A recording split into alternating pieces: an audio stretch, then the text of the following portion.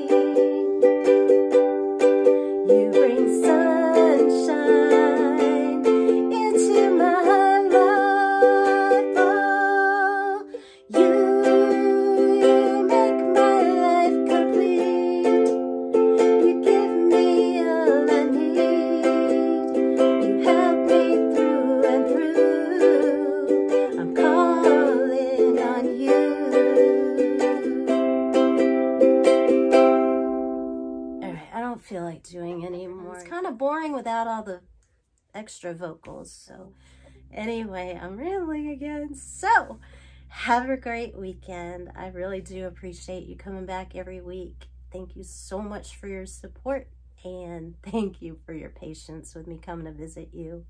I'll see you next week.